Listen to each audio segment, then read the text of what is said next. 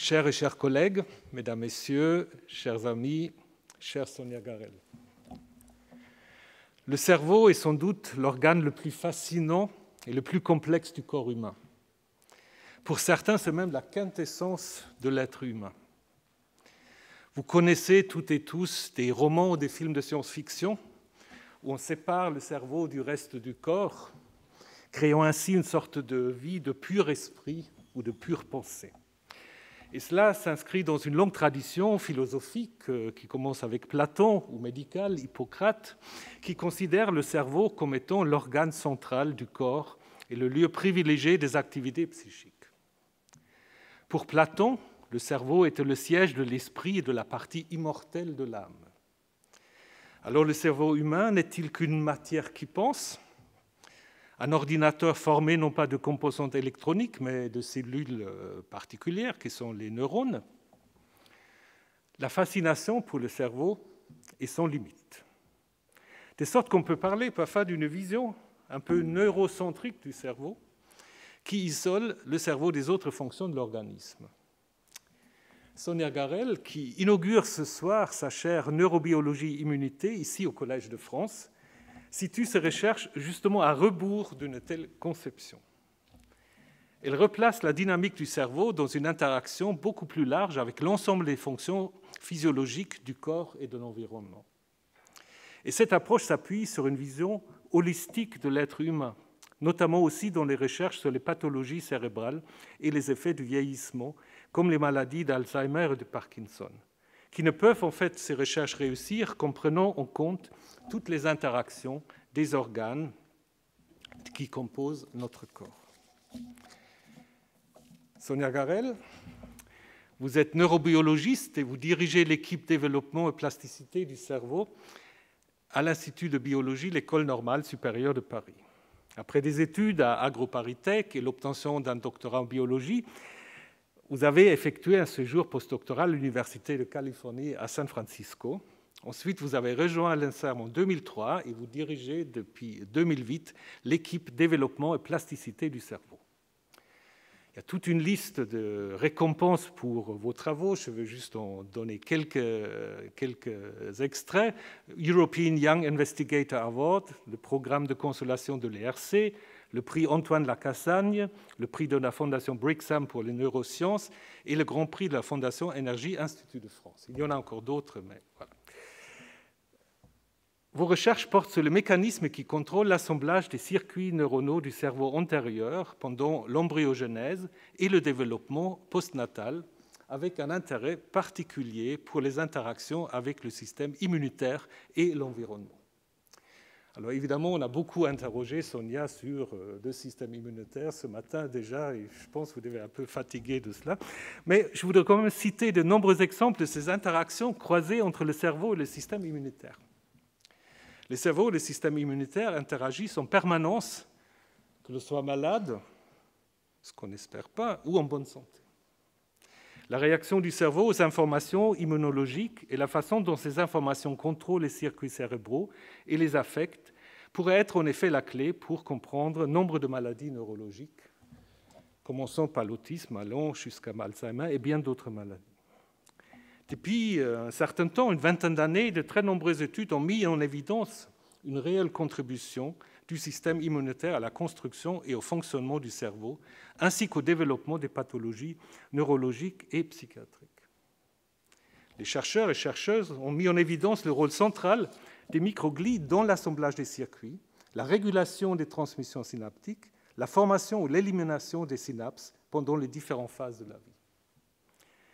Et ces microglies, bah, j'ai appris cela en me préparant, ces microglies constituent donc une véritable interface entre l'environnement corporel et les circuits cérébraux dans les contextes physiologiques et pathologiques. Et pour vous, Sonia Garel, je voudrais vous citer parce que c'est une très belle phrase. Je ne sais pas si vous le redites, ce n'est pas grave.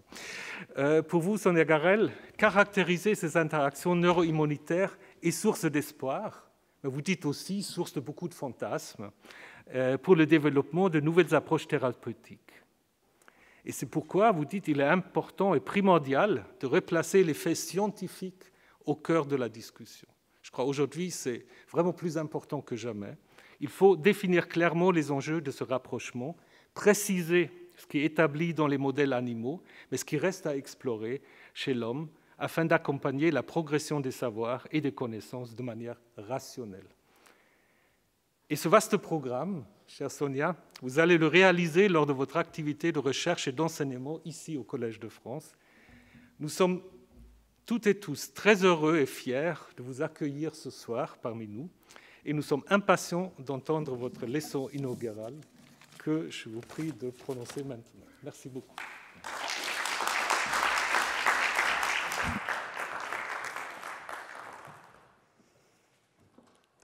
Merci beaucoup. Monsieur l'administrateur, euh, mes chers collègues et confrères, ma famille, mes amis, mesdames, messieurs, nous inaugurons ce soir la création d'une chaire neurobiologie et immunité. Je suis extrêmement honorée d'avoir été jugée digne de l'animer et reconnaissante à tous les professeurs de m'accueillir dans leur prestigieuse assemblée.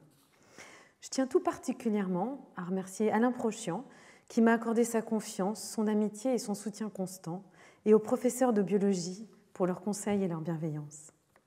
Je voudrais aussi exprimer ma sincère reconnaissance aux personnes qui m'accompagnent au quotidien, à toutes celles et ceux qui me soutiennent dans cette aventure, car je ne serais pas là sans eux. Et je tiens particulièrement à remercier mon mari Thomas. Alors je suis euh, devant vous, virtuellement, dans un amphithéâtre qui semble bien vide, avec un masque, et je ne sais quel aspect de cette situation me semble le plus surréaliste. La neurobiologie a toujours occupé une place de choix au Collège de France.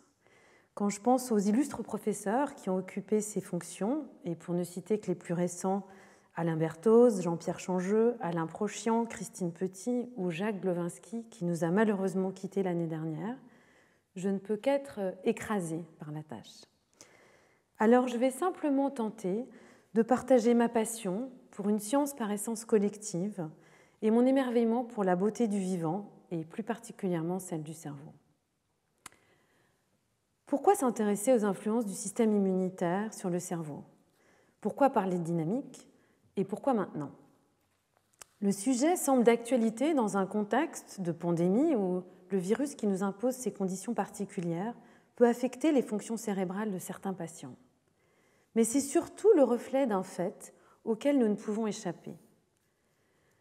Comme tous les autres habitants de cette planète, nous vivons en interaction avec le monde qui nous entoure. Pour citer Claude Bernard, père de la physiologie et de la science expérimentale et professeur au Collège de France, la vie résulte d'un conflit, d'une relation étroite et harmonique entre les conditions extérieures et la constitution préétablie de l'organisme. Le système nerveux permet de percevoir le monde environnant, de tenter de le comprendre et de produire des réponses comportementales adaptées à un contexte toujours changeant. Le système immunitaire, quant à lui, régule le dialogue avec les micro-organismes, bactéries, virus, ceux avec lesquels nous vivons en harmonie, comme le microbiote intestinal, mais aussi les agents pathogènes, sources de maladies, d'infections et d'inflammations.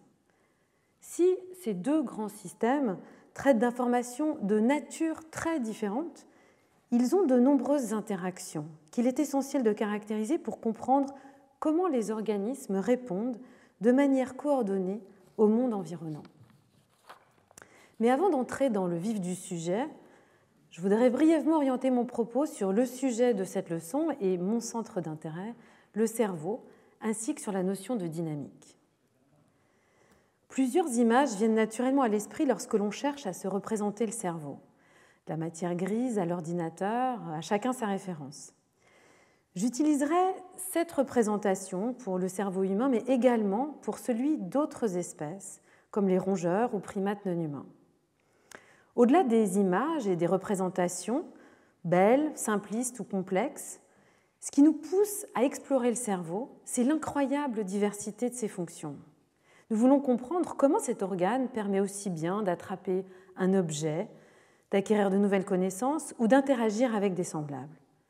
Or, ces fonctions sont toutes liées à une dimension temporelle. Dans le temps court, à travers la façon dont nous opérons un tri entre ce que nous gardons comme souvenir et ce que nous oublions. La littérature nous alerte d'ailleurs sur le côté inhumain qu'aurait la faculté de ne pas oublier. Ainsi, Jorge Luis Borges, dans sa nouvelle Funeste sous la mémoire, nous rappelle que penser, c'est oublier des différences, c'est généraliser, abstraire. Ce rapport au temps, à l'oubli et à la mémoire est notre quotidien. À l'échelle d'une vie également, le cerveau n'est pas statique. Il est en perpétuelle évolution depuis la vie prénatale, pendant l'enfance, l'adolescence, la vie adulte et enfin le vieillissement, où la problématique de l'oubli prend alors une toute autre résonance. Cette dynamique, c'est le centre d'intérêt de l'équipe que je dirige à l'Institut de biologie de l'École normale supérieure. Nous cherchons plus particulièrement à comprendre comment les circuits s'assemblent dans le cerveau murin lorsqu'il est en développement, comment des milliards de neurones se positionnent, se connectent pour former des circuits qui vont permettre d'assurer par la suite les fonctions sensorielles, motrices et cognitives. Ces phases développementales sont de véritables séquences. Elles ne suivent pas une progression linéaire comme une machine conçue avec un plan préétabli qui aurait l'objectif final d'aboutir au cerveau adulte et de le maintenir dans la durée. Le cerveau est un peu comme ces châteaux qui combinent dans leur architecture différentes époques liées à différentes étapes de construction. L'ensemble forme au tout un, ensemble cohérent et pourtant les réorganisations et réaménagements sont les fruits de l'histoire et non d'un projet initial. À chaque période, le cerveau, ce château, fonctionne, mais de manière différente. Par exemple, pendant la petite enfance, il permet de sentir le corps et le monde pour en construire des représentations internes. Par la suite, ces représentations internes permettent d'avoir des repères, de faire des prédictions et de détecter de manière saillante des erreurs par rapport à ces prédictions. Par exemple, nous allons tout de suite remarquer si une poignée de porte est déplacée de quelques centimètres vers le bas. Le cerveau adulte n'est donc pas un édifice monté à partir d'un plan initial précis. Et pour paraphraser Marcel Proust, qui décrivait non pas un château mais l'église de Combray, un édifice occupant, si l'on peut dire, un espace à quatre dimensions, la quatrième étant celle du temps. Ce temps est celui du décours d'une vie, mais le cerveau est aussi le résultat d'un long bricolage évolutif, pour reprendre l'expression de François Jacob, titulaire de la chaire de génétique au Collège de France. À l'échelle de l'évolution des espèces, hasard, recyclage de circuits existants et pression de sélection ont abouti au cerveau des mammifères et à celui de l'homme, et n'a donc pas été construit avec un but ultime de fonctionnement optimal. Alors pourquoi est-il important d'intégrer cette dimension temporelle? Devant la complexité de l'édifice, comprendre comment il a été construit ne peut qu'aider. Mais cette dynamique est également centrale dans l'étude des maladies cérébrales. Celles-ci sont en grande partie associées soit à des défauts de développement, en début de vie, comme le retard mental, les troubles du spectre autistique ou la schizophrénie, soit au vieillissement, comme les maladies neurodégénératives, dont les maladies de Parkinson et d'Alzheimer. Et dans ces deux cas, les symptômes peuvent apparaître des années après le début de la maladie. Appréhender cette dynamique aide donc à comprendre comment émerge un cerveau fonctionnel, mais aussi à progresser dans la compréhension de l'origine des pathologies. Voilà donc pour introduire ce terme de dynamique et ses enjeux. Je vais désormais entrer dans le vif du sujet, à savoir les interactions entre cerveau et système immunitaire. Et nous reviendrons dans un troisième temps sur l'association entre interaction neuro-immunitaire et la notion de dynamique. Nous connaissons depuis longtemps des exemples frappants d'interactions croisées entre le cerveau et le système immunitaire. Je n'en décrirai ce soir que deux. Le premier est l'effet placebo, qui tient son nom du latin placere, plaire. Le terme apparaît dans le jargon médical au XVIIIe siècle, où il désigne tout traitement qui vise plus à plaire au patient qu'à lui bénéficier. Mais ce type de traitement, à but euh, consolatoire, était en fait administré depuis l'Antiquité. Son effet thérapeutique a été démontré expérimentalement dès 1799 par John Haygarth de manière quasi fortuite. Voulant dénoncer le charlatanisme, il révéla, je cite, à un degré non suspecté l'influence puissante de la simple imagination sur les maladies. L'effet placebo des médicaments est aujourd'hui bien établi et révèle l'effet du cerveau sur le corps et sur le système immunitaire. A l'inverse, même si ce phénomène est moins bien documenté, le système immunitaire agit sur le cerveau. Un exemple marquant est ce que l'on appelle sickness behavior ou comportement de maladie, soit un ensemble de modifications comportementales qui sont induites par une infection ou une forte inflammation. On dit d'ailleurs il ou elle est malade, sans nommer la maladie, pour décrire un état global bien reconnaissable de tout un chacun, des médecins depuis l'Antiquité ou même des éleveurs d'animaux. Cet ensemble de réactions comportementales qui limitent les mouvements et partagent des points et voies moléculaires communes avec l'état dépressif permet de détourner l'énergie corporelle pour lutter contre la maladie. Mais il a aussi été proposé qu'il ait pu être sélectionné par l'évolution car il bénéficierait à l'espèce. Comme ce comportement de maladie induit un isolement relatif, on dirait aujourd'hui une distanciation sociale, il limiterait la propagation des agents infectieux. Il y a bien d'autres exemples, notamment en conditions pathologiques, lorsque le système immunitaire attaque le cerveau, comme dans la sclérose en plaques, certaines maladies auto-immunes ou événements psychotiques. Mais malgré ces exemples, les systèmes nerveux et immunitaires ont historiquement été étudiés de manière séparée. La neurobiologie moderne naît au XIXe siècle grâce à la convergence de plusieurs changements conceptuels et de nouveautés technologiques. Les progrès de la physique permettent de caractériser l'électricité comme support de l'information nerveuse à partir des élégants travaux de Luigi Galvani à la fin du XVIIIe siècle. La théorie de l'évolution, popularisée peu après, autorise désormais à étudier le cerveau des autres animaux pour mieux comprendre celui de l'homme. Puis, Santiago Ramón y Cajal identifie l'architecture cellulaire des circuits. Il utilise et adapte pour cela la méthode de coloration mise au point par Camillo Golgi. En marquant de manière aléatoire des neurones, il déduit dans une série de dessins et de travaux absolument exceptionnels l'organisation fonctionnelle des circuits et du système nerveux. Il décrit également d'autres cellules du cerveau, non support de l'information nerveuse, qui avait déjà été appelée collectivement glia ou cellule gliale pour glu en grec par Rudolf Virchow en 1856. Je reviendrai sur les cellules gliales et en particulier sur certaines qui n'étaient pas bien marquées dans ces préparations et que l'anatomiste espagnol nomma le troisième élément. En parallèle à cet essor de la neurobiologie, l'immunologie a également connu un démarrage remarquable au XIXe siècle avec les pionniers de la théorie bactérienne, de l'immunité et de la vaccination, que sont Louis Pasteur, Elie Metchnikov, Paul Ehrlich et tant d'autres. Les 20e et 21e siècles ont été témoins de progrès immenses pour aboutir à toutes les connaissances que nous avons aujourd'hui. D'un côté, les neurobiologistes arrivent à relier gènes, récepteurs, synapses et circuits au comportement, et grâce à une imagerie toujours plus poussée, à explorer l'origine des pathologies neurologiques. D'un autre côté, les connaissances en immunologie ont énormément progressé dans de nombreux domaines. En est témoin la vitesse avec laquelle les scientifiques et médecins ont pu produire des vaccins dans la pandémie actuelle. Malgré ce foisonnement de découvertes, jusqu'à une période récente, les interactions entre cerveau et système immunitaire n'ont été que marginalement étudiées. Alors pourquoi?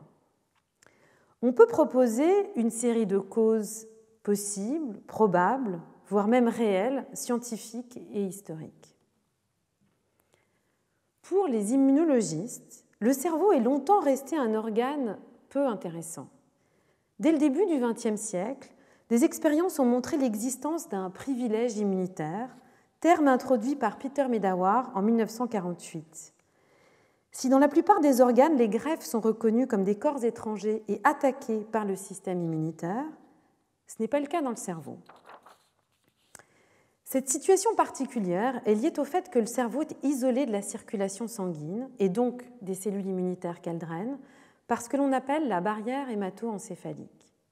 Si nous reprenons l'image du château, la barrière hémato-encéphalique formerait des remparts amovibles qui isole le cerveau des cellules immunitaires circulantes.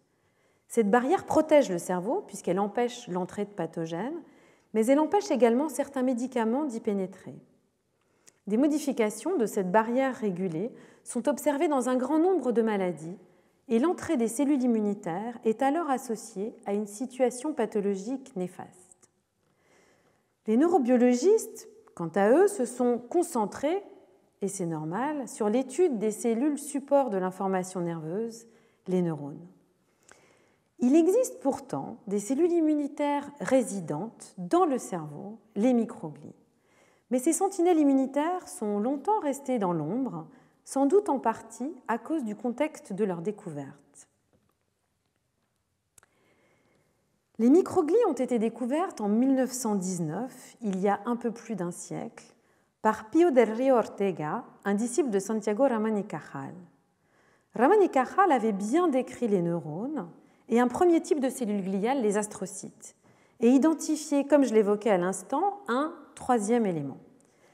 Del Rio Ortega montre dans une série d'articles fondateurs que ce troisième élément comprend d'une part des oligodendrocytes, qui forment la gaine de myéline régulant la vitesse de transmission de l'influx nerveux, ainsi que des cellules gliales plus petites qu'il baptise microglies. Dès 1919, il observe que les microglies sont des phagocytes, c'est-à-dire qu'elles sont capables de manger des débris cellulaires ou d'autres cellules, il note qu'elles semblent avoir une origine totalement différente des autres cellules du cerveau. Il remarque enfin qu'elles sont capables de se transformer, de changer de forme, de devenir des cellules rondes ou améboïdes, transformation liée à la pathologie qu'avait décrite Alois Alzheimer quelques années plus tôt. Il avait donc déjà proposé tout ce que l'on sait aujourd'hui sur les microglies, et je reviendrai en détail sur ces sentinelles immunitaires. Mais Pio del Rio Ortega et Santiago Ramón y Cajal étaient brouillés, tant sur le plan personnel que scientifique, et ces cellules sont restées dans les coulisses de la neurobiologie pendant plusieurs décennies. Enfin, outre les contextes historiques de deux champs scientifiques hyper spécialisés, nous pouvons ajouter que la science n'est pas non plus isolée du contexte social et culturel. Il est important de rappeler ici combien, dans la culture occidentale, corps et esprit ont été considérés comme deux entités séparées. Certains philosophes grecs, dont Platon, ont proposé que l'esprit est dissociable de l'organisme, même s'il convenait que ces deux entités pouvaient interagir. Ce dualisme, on le retrouve aussi bien dans les religions que chez des philosophes comme René Descartes au XVIIe siècle, distinguant corps et esprit. Le cerveau comme siège de la conscience et de l'âme a ainsi longtemps été considéré comme un organe à part. Alors certes, au XVIIe siècle également, des philosophes comme l'anglais Thomas Hobbes ont proposé une vision matérialiste du cerveau, selon laquelle, je cite, L'esprit humain ne conçoit rien qui n'ait d'abord été en totalité ou en partie engendré par les organes des sens. Et cette perspective est développée par Diderot au siècle des Lumières dans, dans certains textes défendant une vision matérialiste d'un cerveau plastique. Néanmoins, la progression d'une représentation du cerveau comme pure machine, puis comme ordinateur dans le courant du XXe siècle, a pu contribuer à faire considérer le cerveau comme séparé des autres grandes fonctions physiologiques, dont celles contrôlées par le système immunitaire. Un enjeu aujourd'hui est d'intégrer le cerveau dans ce contexte global. Cette démarche, qui est relativement récente, est le produit d'un changement de paradigme qui s'est produit au tournant de ce siècle. Ces 20 dernières années, notre conception du rôle du système immunitaire dans la dynamique du cerveau a subi une véritable transformation. Avant de détailler euh, ces découvertes, rappelons certaines innovations technologiques qui ont permis ce bouleversement, mais aussi bien d'autres avancées en biologie. D'une part, le développement d'approches grande échelle a permis de décrire le vivant à un niveau jusqu'ici jamais atteint. Le séquençage au débit permet de connaître tous les gènes exprimés par une seule cellule, de connaître cette information pour toutes les cellules du corps, de connaître cette information dans de multiples espèces ou encore de définir toutes les mutations génétiques chez des patients. Le développement de nouvelles électrodes, de sondes calciques ou sensibles au voltage permet maintenant d'enregistrer en même temps l'ensemble des neurones actifs dans une large région, dans un système, voire même dans un organisme entier. D'autre part, nous parvenons maintenant à manipuler gènes et cellules avec un tout autre niveau de précision, notamment grâce à des modèles génétiques et au développement de vecteurs viraux. Nous pouvons ainsi manipuler les gènes dans des types cellulaires précis et grâce au développement de techniques comme l'optogénétique, manipuler spécifiquement l'activité de certains neurones ou circuits pour tester leur fonctionnalité. Tout cela ne serait possible sans le développement d'outils technologiques issus, il faut le rappeler, d'une recherche conduite par la curiosité. Par exemple, l'identification de marqueurs fluorescents comme la Green Fluorescent Protein ou GFP grâce à des travaux sur les méduses. Ou encore l'outil de manipulation génétique CRISPR-Cas9 produit d'une recherche fondamentale sur les bactéries et qui a valu à Emmanuel Charpentier et Jennifer Doudna le prix Nobel de chimie l'an passé.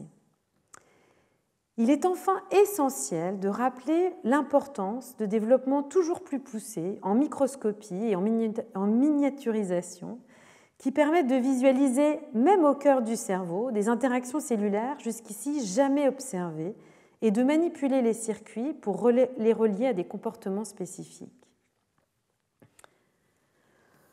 L'ensemble de ces innovations permet maintenant d'appréhender la physiologie du cerveau et ses pathologies au niveau cellulaire et tissulaire, modifiant ainsi considérablement le cadre conceptuel établi. Par exemple, de décaler le regard centré sur l'activité des neurones vers un intérêt pour les interactions avec leurs cellules voisines, comme des macroglies qui comprennent astrocytes et oligodendrocytes, ou encore les vaisseaux sanguins. Revenons maintenant sur ce que ce changement de perspective a apporté à l'étude des interactions entre cerveau et système immunitaire. Et j'aborderai ici ces apports dans un ordre non chronologique. L'analyse tissulaire a tout d'abord permis de faire sort à un dogme jusqu'ici bien ancré, selon lequel il existerait une séparation stricte entre cerveau et système immunitaire circulant. Les travaux qui ont conduit à cette petite révolution mériteraient de longs développements et j'y reviendrai plus en détail dans mes cours. Je ne vais aujourd'hui mentionner que ces résultats de manière succincte. Ces études ont mis en lumière plusieurs aspects fondamentaux autour du constat que la barrière hémato-encéphalique, ces remparts, ne sont pas si impénétrables. Et je fais ici référence à des études réalisées par des scientifiques comme Michel Schwartz ou Jonathan Kipnis, qui ont initialement travaillé sur des modèles animaux. Premièrement, il existe des points d'entrée et de sortie privilégiés pour les cellules immunitaires circulantes, notamment en conditions pathologiques, qui entrent par des structures spécialisées comme les plexus choroïdes et peuvent être drainées par un système lymphatique situé autour du cerveau dans les méninges. Deuxièmement, il existe une population complexe de cellules immunitaires dans les méninges, comme des lymphocytes, qui produisent des facteurs sécrétés, dont les cytokines, qui agissent à distance sur l'activité neuronale et les fonctions cérébrales. Ces observations nous montrent que les cellules immunitaires non résidentes ont un rôle fondamental dans la physiologie comme dans les pathologies du cerveau. Que font ces cellules en conditions normales, aux frontières du cerveau, dans les méninges par exemple? Ont-elles un rôle positif, délétère, ou les deux, quand elles rentrent dans le cerveau en conditions pathologiques?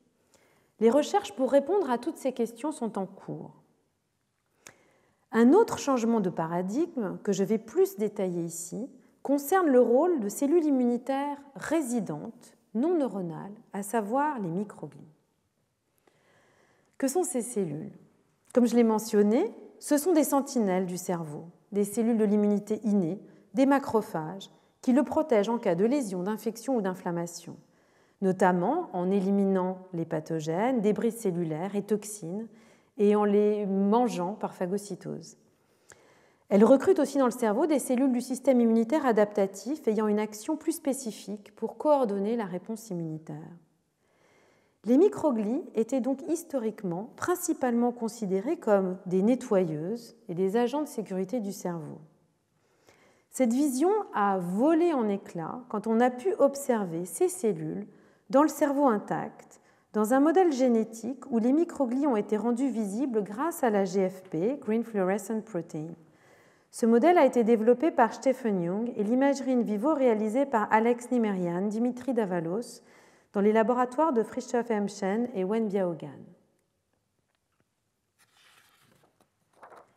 Comme vous pouvez le voir, ces cellules scannent en permanence leur environnement en étendant et rétractant leur prolongement cellulaire en absence de toute stimulation. Et elles répondent de manière dirigée à une lésion induite ici par un laser.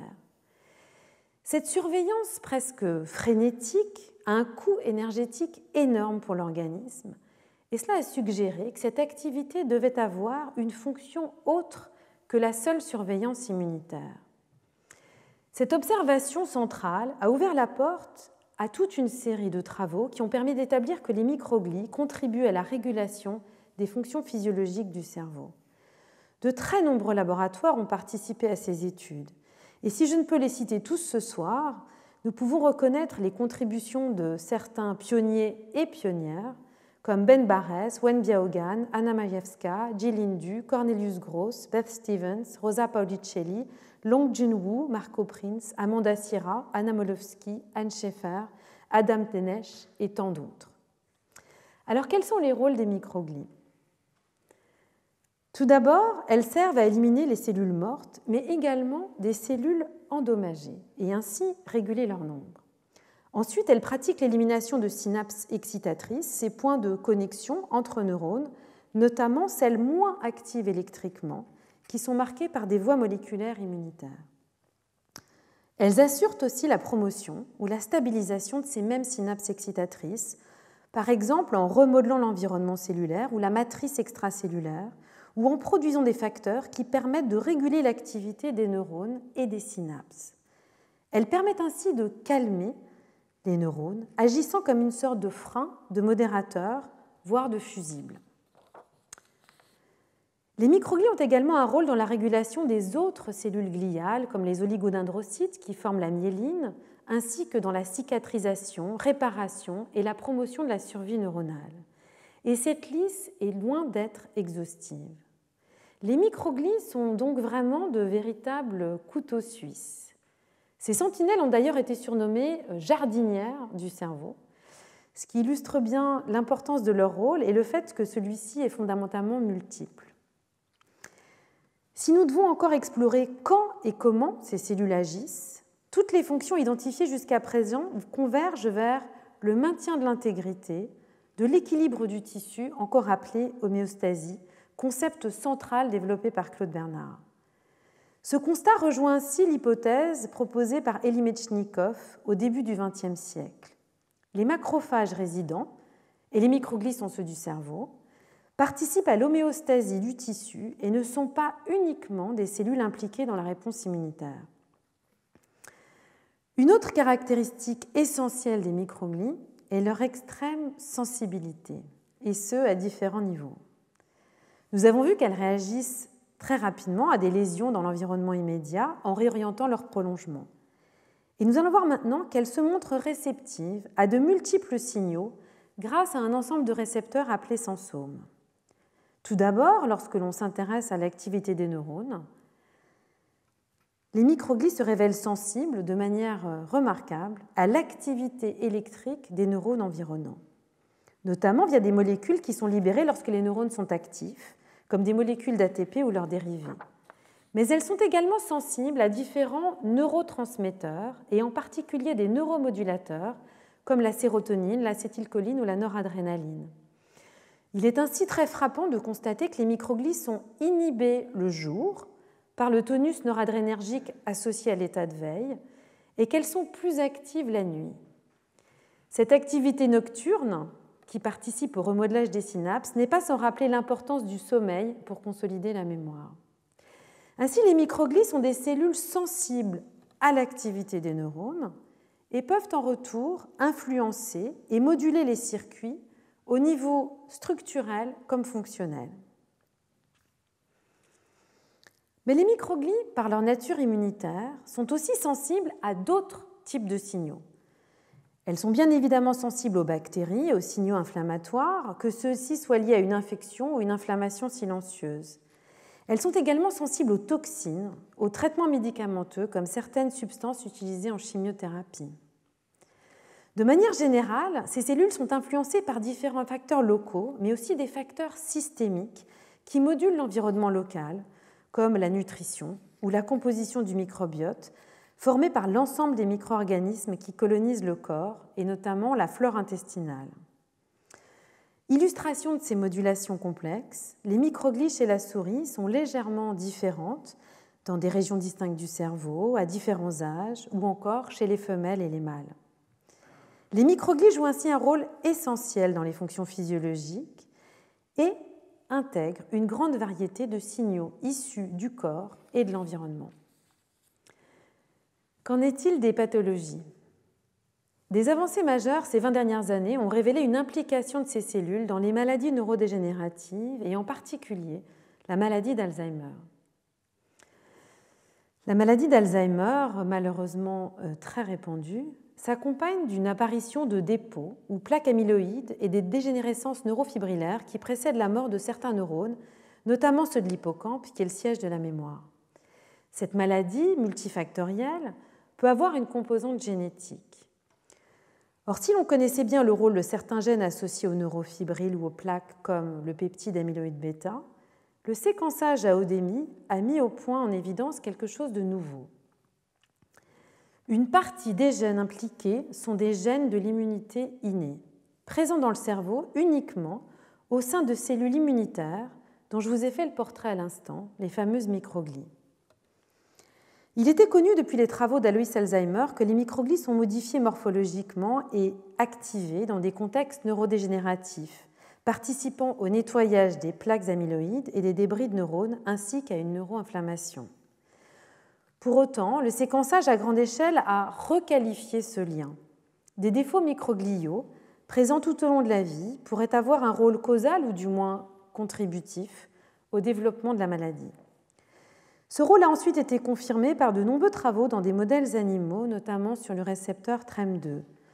Les microglies participent à l'élimination des synapses, la régulation de la formation des plaques et à la mort des neurones. D'autres études ont également révélé une contribution microgliale à d'autres pathologies neurodégénératives comme la démence frontotemporale, la maladie de Charcot ou de Nasu-Akola. En parallèle, les travaux des laboratoires de Ido Amit, Michal Schwartz et Oleg Butowski ont identifié un état microglial présent dans un contexte de neurodégénérescence et ce, dans des pathologies très diverses. La découverte de ces Disease Associated Microglia, ou DAM, suggère l'existence potentielle d'un mécanisme commun pour ces pathologies et ouvre de nouvelles pistes pour des approches thérapeutiques ciblant ces maladies dévastatrices. L'ensemble des travaux que j'ai évoqués ont apporté des pièces au puzzle qui nous donnent une image des microglies bien éloignées de celles de sentinelles passives qui se contenteraient de guetter derrière les remparts mais comme des acteurs incontournables du fonctionnement du cerveau et également des modulateurs importants des maladies neurodégénératives. Qu'en est-il pour d'autres maladies, par exemple des pathologies neuropsychiatriques du développement, comme les troubles du spectre autistique ou la schizophrénie? Est-ce que ces cellules étonnantes participent au développement physiologique du cerveau? Ce sont des questions essentielles auxquelles de nombreux laboratoires, dont le mien, essayent de répondre. Nous voulons mieux comprendre ce que font les microglies dans le cerveau murin en développement, en conditions physiologiques, mais aussi pathologiques. Et avant de vous présenter les travaux de mon équipe, je voudrais m'arrêter ici un instant pour sincèrement saluer le travail de tous les gens étudiants, doctorants, postdoctorants, techniciens, ingénieurs, chercheurs statutaires qui ont formé cette équipe depuis le début et qui la forment aujourd'hui. C'est leur passion, leurs efforts qui construisent la science et, je leur suis infiniment reconnaissante de partager cette aventure avec moi. Je tiens également à exprimer ma reconnaissance à Patrick Charnet qui a dirigé mon travail de thèse et m'a accueilli après mon stage postdoctoral chez John Robenstein. Je remercie ce mentor généreux pour le mélange de confiance, de conseils et de liberté qu'il m'a accordé depuis le début de ma carrière. La science est toujours collective et je voudrais enfin adresser un immense merci à tous nos collaborateurs, en France et à l'étranger, à l'école normale supérieure et en particulier à l'Institut de biologie qui nous a accueillis depuis le début, ainsi qu'à tous les organismes et fondations qui nous soutiennent dans nos travaux. Alors j'évoquais au début de cette leçon la dynamique du cerveau à laquelle notre équipe porte un grand intérêt. L'enjeu pour nous est de comprendre comment émerge un cerveau fonctionnel, mais aussi comment des défauts de développement peuvent induire des dysfonctionnements et pathologies. L'assemblage des circuits cérébraux repose sur des phases de construction que j'ai déjà brièvement mentionnées. D'abord, des programmes génétiques et épigénétiques et l'activité neuronale spontanée, qui permettent de précabler des circuits, puis l'activité neuronale, qui dépend des expériences vécues tout au long de la vie. Ce processus est essentiel car son altération est impliquée dans des pathologies neuropsychiatriques du développement, comme les troubles du spectre autistique ou la schizophrénie. Ces maladies multifactorielles présentent une composante génétique et les facteurs de risque génétique identifiés affectent principalement les neurones et en particulier les synapses. Mais des études épidémiologiques, notamment sur l'épidémie de grippe espagnole de 1918-1919, ont également suggéré que des facteurs environnementaux, notamment des infections pendant la grossesse, pouvaient augmenter dans la descendance les risques de certaines maladies neurodéveloppementales comme euh, la schizophrénie. Les travaux pionniers de Paul Patterson ont ensuite montré que chez des rongeurs et primates non humains, une inflammation prénatale était suffisante pour induire des symptômes reliés aux troubles du spectre autistique dans la descendance mâle. Et ces défauts comportementaux sont induits par des cytokines produites en réponse à l'inflammation et non par une action directe des agents pathogènes, viraux ou bactériens. Il est donc essentiel pour les neurobiologistes comme pour les cliniciens de comprendre comment ces phases de construction sont orchestrées et donc comment elles peuvent être altérées, soit par des perturbations génétiques, soit par des perturbations environnementales comme l'inflammation. Alors que sait-on euh, de la construction des circuits? Tout commence dans l'embryon, pendant une phase où les neurones sont générés et puis migrent, se déplacent pour former des circuits. C'est précisément ce processus de migration qui permet de brasser et d'assembler des populations de neurones différents. Par exemple, dans le cortex cérébral, des neurones qui utilisent des neurotransmetteurs excitateurs, comme le glutamate, ou des neurotransmetteurs inhibiteurs, comme le GABA, qui agit comme un frein. Et l'association et le câblage entre neurones excitateurs et inhibiteurs GABAergiques est essentiel pour contrôler les patrons d'activité des circuits et les rythmes cérébraux. En parallèle, un câblage à longue distance via des faisceaux axonaux permet ensuite de relier des circuits cités dans différentes régions et impliqués dans des fonctions distinctes. Il permet ainsi de structurer des voies complexes qui contrôlent la perception sensorielle, les réponses motrices et les fonctions cognitives. Depuis 15 ans, notre équipe étudie chez la souris cette véritable chorégraphie cellulaire de migration, progression axonale et connectique, gouvernée par des programmes génétiques et modulée par des activités neuronales spontanées dans le cerveau. Alors notre constat, il est essentiel de caractériser les interactions transitoires dans le développement cortical. En effet, nous avons montré que certains neurones contribuent de manière euh, fugace à la construction des circuits, soit parce qu'ils migrent et adoptent d'autres fonctions en se déplaçant, soit parce qu'ils sont éliminés. Ces neurones ont ainsi des rôles spécifiques en fonction de leur localisation temporaire. Caractériser les interactions et phases transitoires permet d'analyser la dimension historique et dynamique du cerveau, un peu comme lorsque pour comprendre l'évolution, il est important d'étudier non seulement les espèces vivantes, mais aussi les fossiles. Pour illustration, nous avons montré que la migration de neurones ne sert pas uniquement à les positionner dans le cerveau, mais elle permet aussi d'ouvrir des autoroutes pour des faisceaux d'axones qui empruntent pendant un temps les mêmes trajectoires.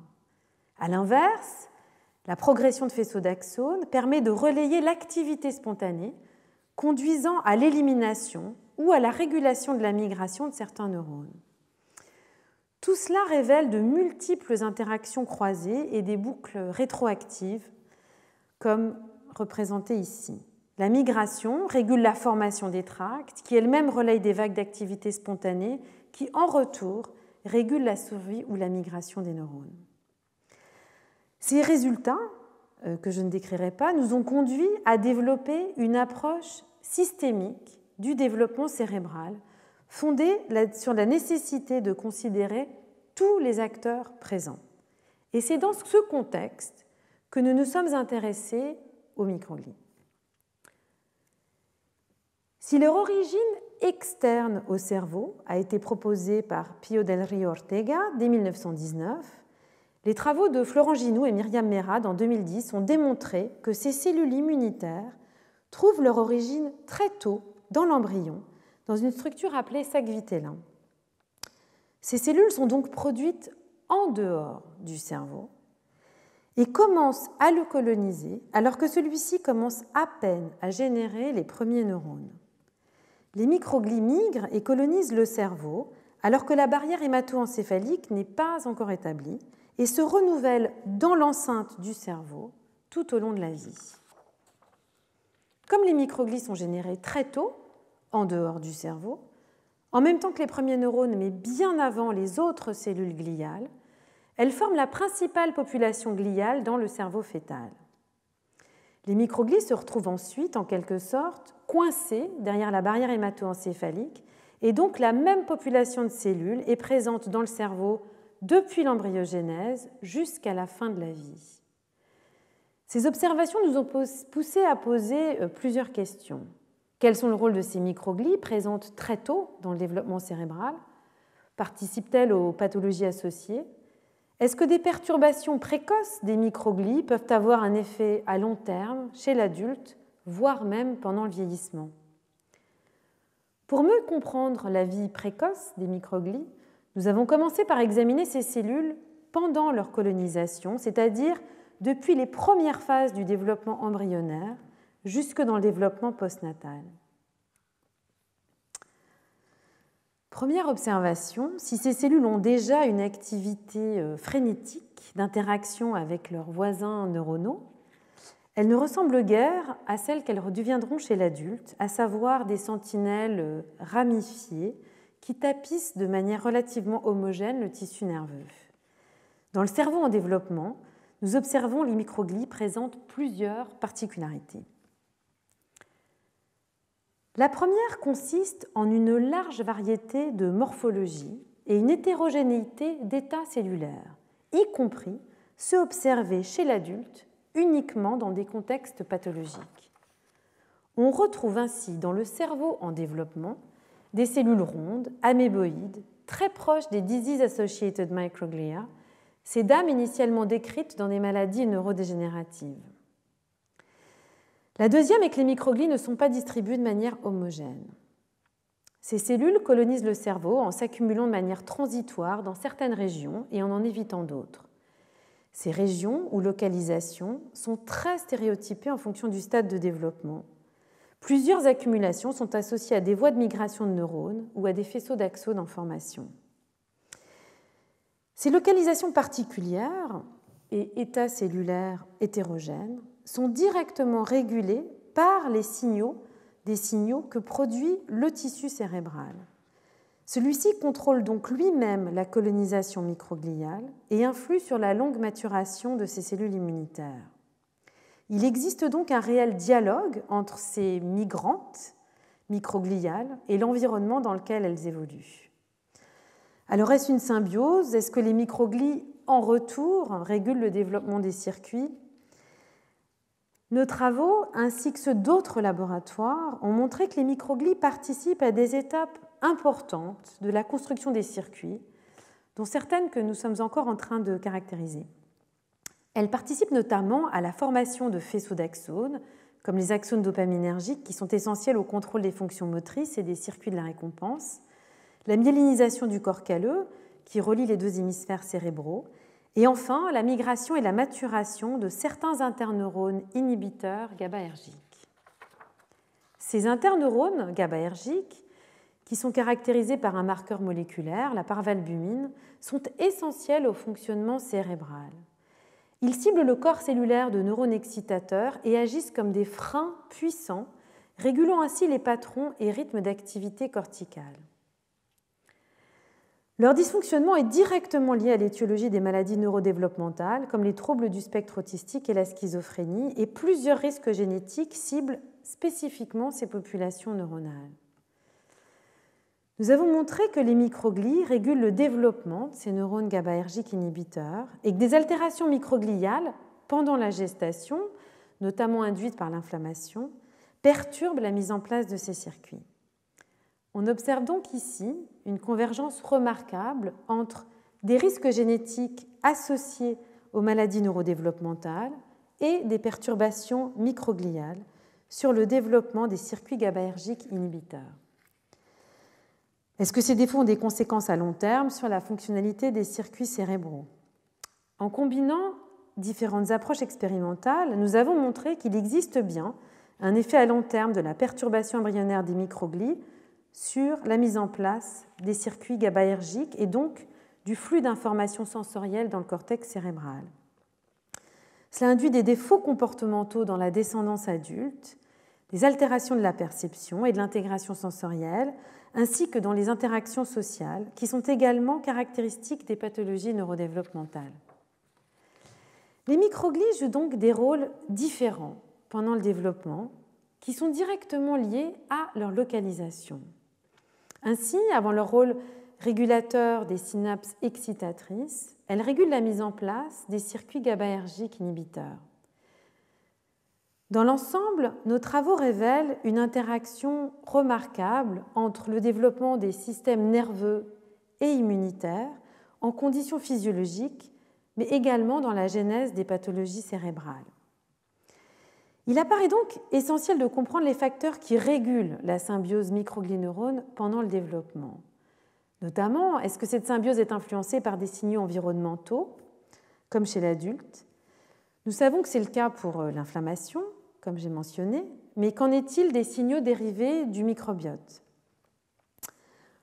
Pour répondre à cette question, nous avons réalisé une large étude collaborative incluant une étude transcriptomique dans le temps depuis les stades prénataux jusque chez l'adulte, et chez des souris axéniques, c'est-à-dire élevées sans germes et donc sans microbiote, ou traitées aux antibiotiques pour modifier le microbiote transitoirement. Nous avons ainsi observé que le microbiote a un effet sur les microglies, non seulement chez l'adulte, mais également dès les stades embryonnaires. Ici, de manière étonnante, c'est le microbiote de la mère qui de manière systémique a une influence sur les cellules immunitaires présentes dans le cerveau embryonnaire. De plus, cet effet est sexuellement dimorphique. Les microglies embryonnaires sont majoritairement perturbés chez les individus mâles, alors que les microglies adultes le sont surtout chez les femelles. Ces modifications affectent les cellules sur plusieurs plans, au niveau de l'ensemble des gènes qu'elles expriment, leur densité et leur morphologie. Ces travaux, qui ont été réalisés chez la souris, montrent que les différences sexuelles, qui sont souvent retrouvées dans différentes composantes du système immunitaire, sont ici influencées par l'environnement du microbiote. Et à l'inverse, des défauts microgliaux induits par l'environnement pourraient donc influencer différemment le développement des circuits chez les mâles et les femelles. Si les mécanismes impliqués dans ce dimorphisme sexuel sont en cours d'exploration, et qu'il reste encore de nombreux travaux pour passer de la souris à l'homme, nos études mettent en évidence des fenêtres temporelles de susceptibilité différentes en fonction de l'identité sexuelle. Et cette observation fait écho aux pathologies associées à des dysfonctionnements microgliaux. Il existe en effet une prévalence accrue des pathologies neurodéveloppementales chez les hommes, comme les troubles du spectre autistique, et pour certaines pathologies neurodégénératives, notamment la maladie d'Alzheimer ou les maladies auto-immunes, comme la sclérose en plaques, une prévalence accrue chez les femmes. L'ensemble des travaux que je vous ai résumés contribue à la construction d'un schéma conceptuel où les microglies se situent à l'interface circuits, signaux corporels, dès le début de l'embryogénèse et pendant toute la vie. Elle pourrait agir de manière convergente avec des prédispositions génétiques sur un développement ou une maturation dysfonctionnelle des circuits cérébraux. Ce schéma est soutenu par l'observation que chez des patients atteints de troubles autistiques ou de schizophrénie, les microglies sont parmi les sous-types cellulaires cérébraux les plus altérés. S'il apparaît donc essentiel de comprendre comment est régulée la symbiose microglie-tissu neural pour appréhender la physiologie du cerveau et également ses dysfonctionnements, les questions ouvertes sont nombreuses. Comment est orchestrée la colonisation microgliale Quand et comment ces cellules agissent Est-ce que des perturbations précoces affectent les microglies toute la vie? Est-ce que les mécanismes impliqués dans le développement sont les mêmes qu'en dégénérescence?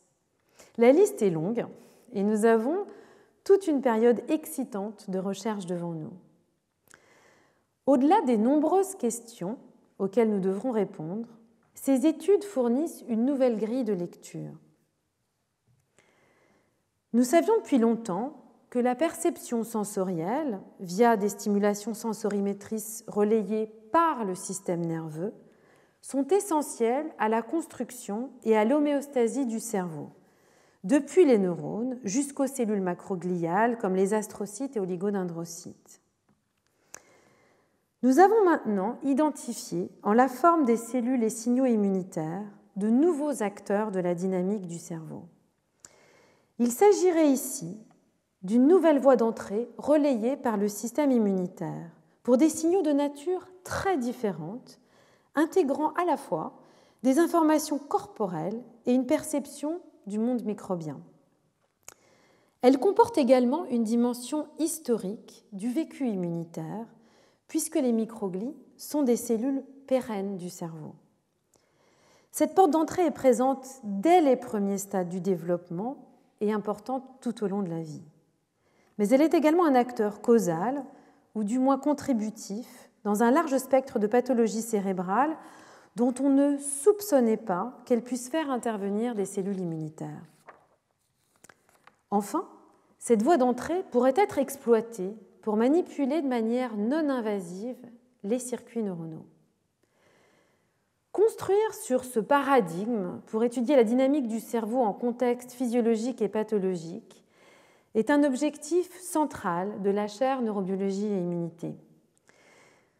Mais également aborder les influences réciproques du cerveau sur le système immunitaire, comme l'effet placebo, analyser comment le microbiote, certains pathogènes ou médicaments modifient les fonctions cérébrales, Étudier les voies moléculaires ou la notion de mémoire dans les systèmes nerveux et immunitaires sont autant de thématiques qui seront abordées dans les enseignements de cette chaire. Car tous ces aspects sont essentiels pour comprendre comment les organismes vivants fournissent des réponses neurobiologiques adaptées à l'environnement, pour placer l'étude du cerveau dans le contexte du corps et de la dynamique des vies, ainsi que pour appréhender le continuum entre physiologie et pathologie. Pour finir, ce vaste domaine de recherche est également une source d'espoir pour le développement de nouvelles pistes thérapeutiques dans des maladies qui peuvent être lourdes et parfois sans traitement. Nous avons la responsabilité vis-à-vis des patients et de leurs proches de rappeler que de nombreuses avancées ne sont encore connues qu'à partir de travaux sur l'animal et que la durée du passage de la recherche à la médecine peut être un long processus. Il est donc aujourd'hui plus que jamais nécessaire de continuer à construire les savoirs avec humilité mais persévérance et réalisme, sans oublier les rêves et la quête de curiosité qui sont les moteurs de notre recherche. Je vous remercie de votre attention.